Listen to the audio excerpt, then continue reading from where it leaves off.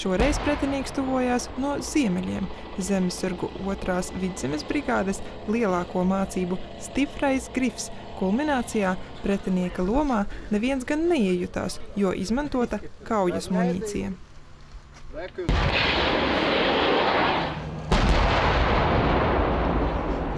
Mācību skaļākā fāze ilga apmēram stundu. Jāmēģina iznīcināt pretinieks, kas dodas pretī ar tankiem. Izdodas. Komandieris saņem informāciju no vienībām, ka tās vienības, kas ir iekļuvušas mūsu ietekmes zonā, mēs viņus saucam par ietekmes zonu, tad vienības ir iznīcināts. Zemesargi mācībās sadarbojās ar profesionālās armijas karavīriem.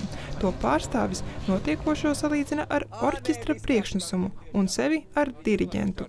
Komandieris ir tas, kas atsevišķas ieroču sistēmas pieklusina, citas tieši otrādi aktivizē, lai konsolidētu uguni tādā koncentrētā kodolā, lai efektīvi iznīcinātu pretinieku.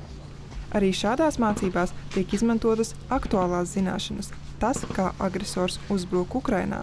Tāpēc jāizmanto dažādus sensorus, lai gan no gaisa, gan zemes pēc iespējas efektīvāk identificētu ienaidnieku. Visi attīstās, arī otra, jeb mūsu nosacītais pretinieks veids attīstību, un mums ir jāiet laikam līdzi, un jaunās tehnoloģijas jāintegrē iekšā ar vien vairāk. Viņš arī uzsver, ka katram zemesargam jāapzinās katra ieroča ietekme. Iespēja just, kā sprāgst īsts lādiņš, tāpēc viesošanos Ādažu poligonā novērtē arī zemesargi. Šeit to var darīt. Es esmu no alūksnes puses, un alūksnē mēs nevaram spridzināt mežus un purvus vai kādu citu vietu. Šeit speciāla vieta, un te mēs to pilnībā izmantojam. Mācībās notikušais pēcāk tiek analizēts, lai, ja nu kļūdas pieļautas, nākamreiz tās neatkārtotu. Dienija Jemļana, Raimons Rumba, Latvijas televīzija.